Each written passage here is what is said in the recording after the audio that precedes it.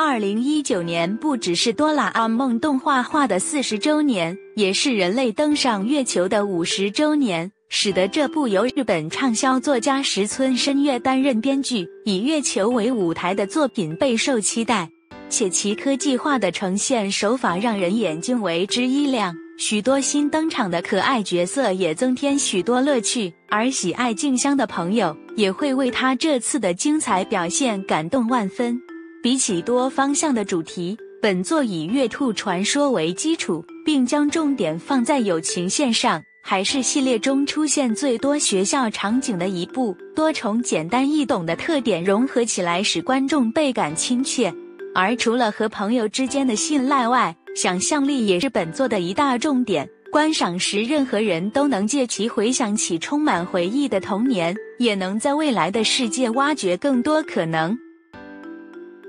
作为大山版配音的最后一部，且是改编自原作漫画的故事，从各个角度来看，本作都含有丰富的纪念价值。本次故事使用了倒叙法，并连接不同的时空背景。来描述从大熊捡到小狗阿姨到后来创建猫狗王国的故事，剧情简单明了，小小孩们也能轻松观看，喜欢动物的朋友更绝对不能错过。主要议题则牵涉动物弃养，以大熊和阿义之间彼此真心对待的情感贯彻整部电影，令人为之深思与动容。而猫狗王国的科技发展也对应到如今社会的趋势，促使观众思考文明和科技导致的惊喜或伤害。另外，电影中还含有许多伏笔和彩蛋，在一边观赏的同时，也能一边挖掘更多乐趣哦。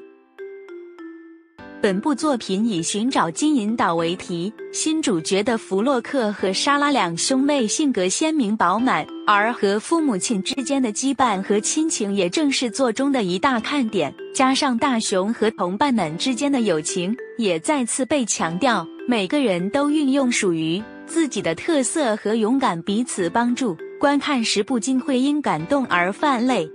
除了刺激的海上斗争外，令人惊喜的细节安排和一语道破的经典台词皆值得再三回味。不管是大人或小孩，都能体会到其中乐趣。更由无牵涉到环境议题，还有你的名字编剧的参与和主题曲主唱星野源来为电影增添许多魅力，难怪能获得票房好成绩。顺带一提。本作是哆啦 A 梦电影中第二个推出小说版本的作品，两相搭配，相信对故事情节将会有更深的了解。此为二十一世纪中第一部哆啦 A 梦剧场版，场景位在鸟人国度鸟托邦，描述大雄等人进入这奇特国度后所发生的故事。当中的新角色为不敢飞行的古司机。然而他却为了拯救大雄，勇敢鼓起翅膀，感动之处由此可见。加上电影中的飞行比赛也精彩绝伦，选手们时不时深入洞穴或是穿梭在森林中，逼真的画面带领观众恣意飞翔，深深沉浸在热血刺激的场景中。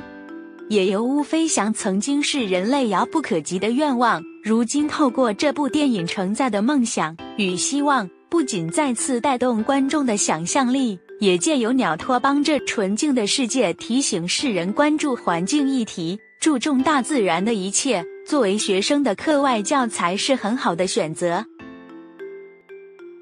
本部电影重置旧版本，并以机器人为背景，参考阶级制度和贫富不均的现象来套用于剧情中，再加上机器人的反攻和抗争。让观众能够醒思时代变换带来的优缺点。与旧版相比，新作对于人物的刻画更加细腻，观看时能对剧情产生更多的连结。结局部分也因为更注重于感情元素，加上配乐下的恰到好处，因此整体惆怅的氛围提升许多。但在过程中也不乏欢笑的剧情，实属泪中带笑的经典之作。而台词和伏笔还为本剧增添了许多亮点，所有细节都值得细细品味。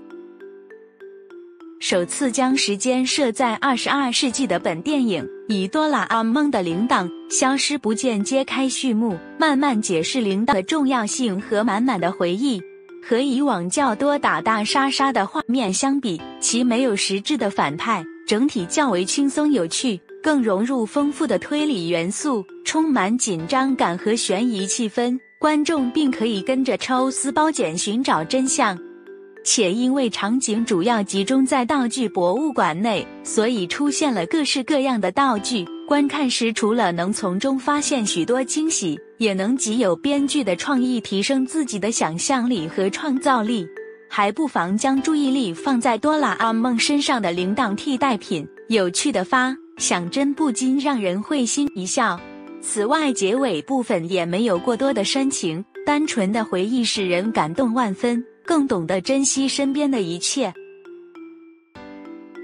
相信许多人都对重播无数次的慈玛雅王国故事并不陌生。虽然历史有些微错误，但充满异国风情的元素为其增添许多色彩。故事也融合了白雪公主的内容，更贴近观众的童年。就连大雄擅长的翻花绳也作为。与剧中小朋友互动的方式而登场，也让人体会到大雄的温暖之处。此外，朋友是本作的核心，且一加一大于二的概念不断的出现。例如，在惊险的沙塔迪比赛和拯救红红的桥段里，一开始骄傲自大的王子，在感受到友情的温暖后，也渐渐变得成熟稳重，懂得为他人着想，观众也将为之感动。只不过当中反派角色的形象较为惊悚，若要让小孩观赏的话，可能要斟酌一二。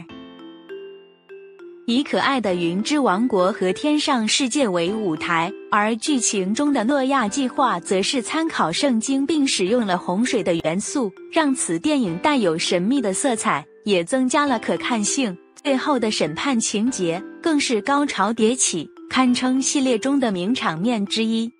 比起其他和环境相关的电影，本作中的对白和台词带有更深的警示意味，涵盖空气污染、象牙买卖和战争等深刻的议题。正反派之间的拉锯也促使观众思考两面相的优缺点。而也许云之王国正代表孩童们的梦想和创造力，所以最后不得已毁坏的情节可能会使孩童的幻想破灭，但也间接教导责了任何义务的重要性。如若父母在旁说明，相信这部电影能发挥更大的价值。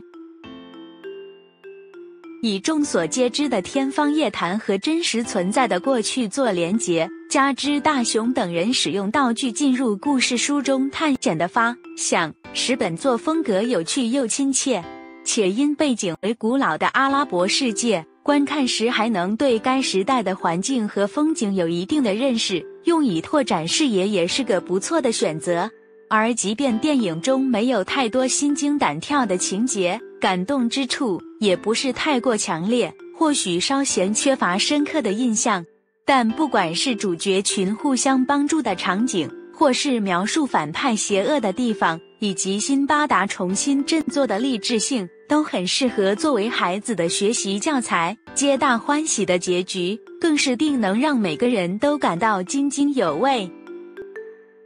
本部电影以机器人为主题，探讨科技文明发展所导致的迫害和转变，可说是与未来世界息息相关。故事背景设在虚构的白金岛，主角们穿梭在迷宫中的探险刺激有趣，所营造的氛围也足够吸引目光。不分族群都能深深进入情节当中。不过，虽然拥有新颖的题材，剧情发展却稍微欠缺精彩成分，偏向于简单的快乐结局，而弱化了主轴所要传达的概念。但是，大雄等人依靠自身力量拯救哆啦 A 梦的片段仍不失感动，既是良好的成长范本，也让观众更了解他们彼此间的羁绊。